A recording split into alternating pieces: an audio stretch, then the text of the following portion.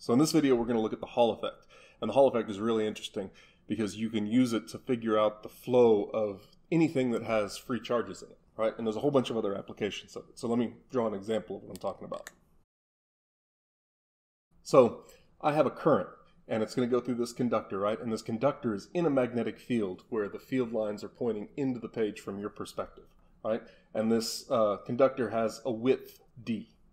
So I'm going to use negative charges, right? So if I have a negative charge here, as it moves through here, right? If you look at the force that's going to be created on this moving charge, right? I have an electron left-hand rule, right? Because it's opposite for negative charges. So I take my left hand and field lines into the page, velocity this way.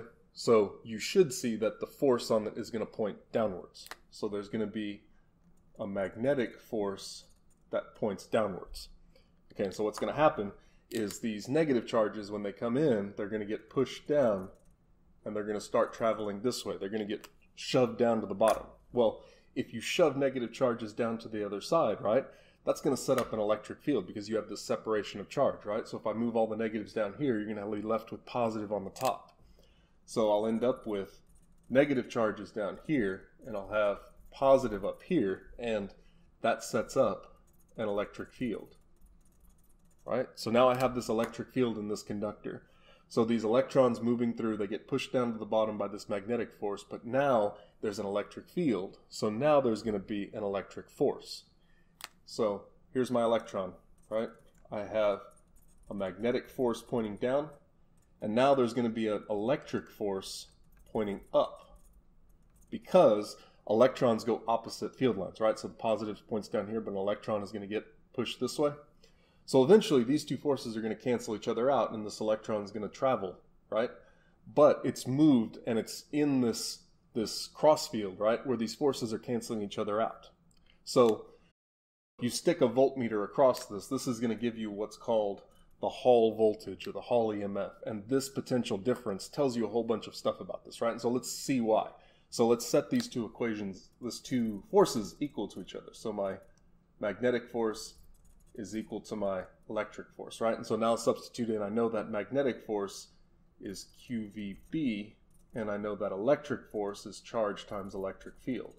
Well, Q cancels out, and so I get that uh, E, right, this could be my Hall electric field, is equal to the velocity times the magnetic field, right?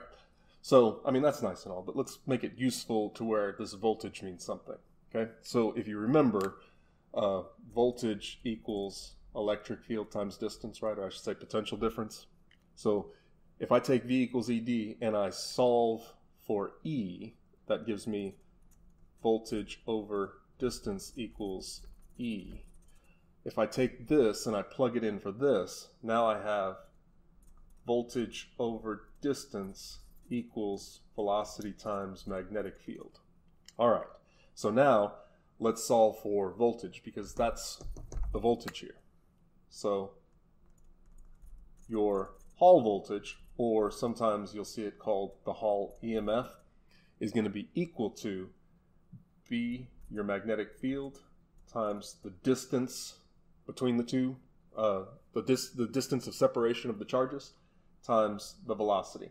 And in this case, right, because I'm talking about moving charges, this is the drift velocity, but if you're talking about something like we're going to do an example in another video, um, if this is like blood flow or something like that, then this is the velocity of the flowing blood, right? And so you can use this for a whole bunch of cool stuff, right? So you can take this and you can figure out like how fast, like I was telling you, blood flowing in a capillary or something. You can use a probe, right? Because blood has free ions in it. You can apply a magnetic field across it. You can measure the voltage and you can see how fast that's moving, right? You can take it and you can figure out a whole bunch of different stuff. They use it in circuits. Like, have you ever heard of a Hall effect probe, right? It's the same thing. You're basically using this effect to figure out one of these variables, right? But the cool thing is, this shows us what the charge of the charge carrier inside a current is, right? So remember, like back in the whenever 1800s, 1700s, when Ben Franklin was figuring this out, and he screwed up and he called the charge carriers positive. When in reality, now we know it's negative, right?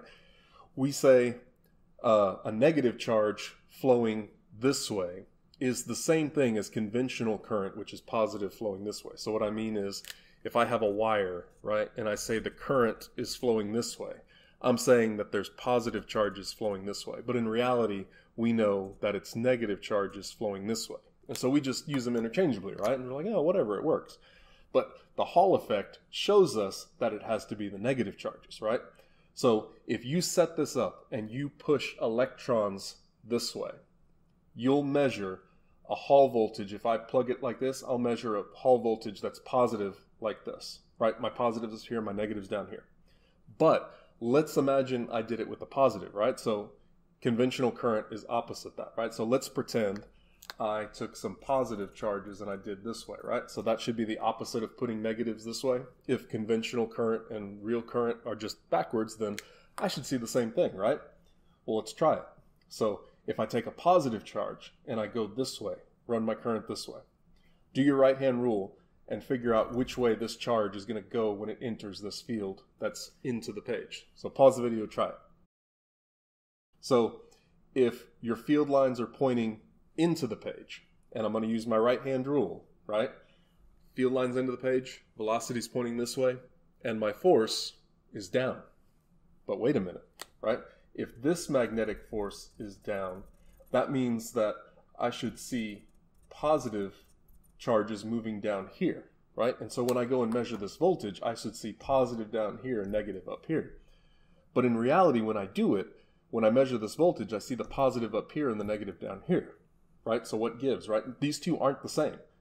And what that shows us is when we do it and we actually measure and we actually see that positives on the top and negative is on the bottom, that means that it must be negative charges that carry the current, right? That carry the charge in the current. And so that's kind of one of the pieces of evidence that showed us that it's actually electrons that move and carry charge instead of the proton. So Hall effect, really, really super cool, useful stuff, right? The equation is pretty simple, right? You're just saying that the EMF or the voltage, right, however you define it, is equal to the magnetic field times the distance of separation of the charge times the velocity. And so if you're doing a circuit, it's the drift velocity, or if you're using a problem like blood flow or something like that, it's the velocity of that flowing. But solving it is pretty simple.